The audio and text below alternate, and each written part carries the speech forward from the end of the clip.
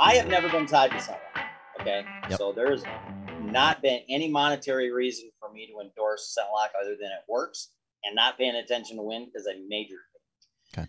But I can't say that for 2022 because ScentLok, I uh, I kind of teamed up with them last summer, and I went in there and designed a. It's going to be a Johnny Eberhart's signature ScentLok suit for 2022, uh, and it's going to be primarily designed for saddle hunters. So the pockets are going to be a little bit higher on the jacket. Uh, knee pads. How cool is you know, that? built, Dude, built-in knee pads. props to uh, ScentLok for picking up on that and doing something doing something right there. First time they've ever did a signature suit for anybody. Very So, cool. Yeah, uh, man. and I I'm very geeked about it, and it's uh it's a very unique suit. Have you actually got your hands on it and you're like, yes, this is this is right. I was there yesterday. Oh, very cool. They're, holding meetings. They got like 10 people, 10, 12 people in this conference room. They're oh, they're looking at all their new 2022 prototype products.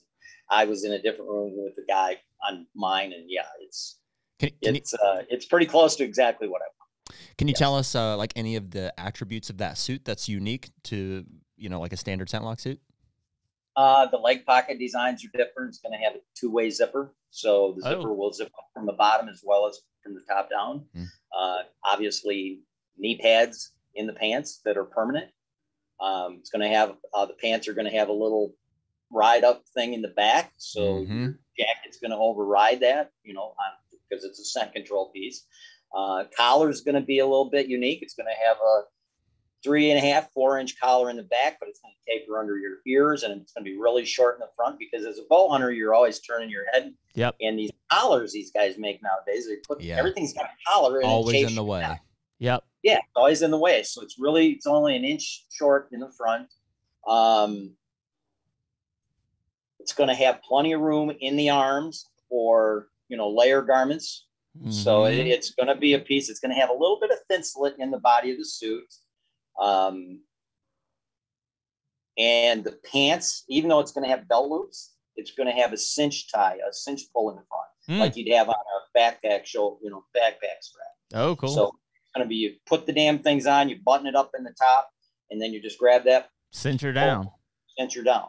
Very cool. Or you can use a belt. So it will have belt loops, but there's going to be no reason to need need a belt. yeah, yeah, Um, Uh, there's no butt pockets because you can't access a butt pocket when you're in a saddle anyway. Yep. So that they're not going to be there. Um, it will still have the little hole in the back in case somebody wants to wear it in a tree stand. you Yep. know, for, for safety safety harness. hmm that's some of the stuff I can think of. Uh, cool. Do, did they tell you, or do you know what patterns, camo patterns, it's going to be in? Or be in real tree extra. okay, I wanted, I wanted it to be. I, first off, I wanted it to be. They didn't give you what you want. They didn't. This No, is the this is the too much. John Eberhart signature series we're talking about here. I wanted we'll go back Cherokee- into man.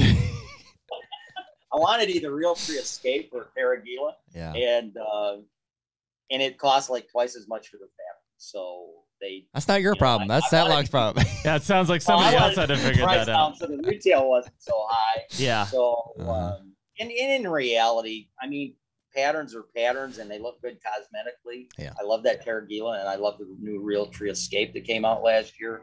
Um, but typically in a saddle, at least for me, I'm hunting at a height where camel's not that big a deal. and I'm always hiding behind trees anyway. I think ultimately like good hardy apparel that it, you know is is built for you know pocket access the right way that you want. It's way more important probably. Well- Take me on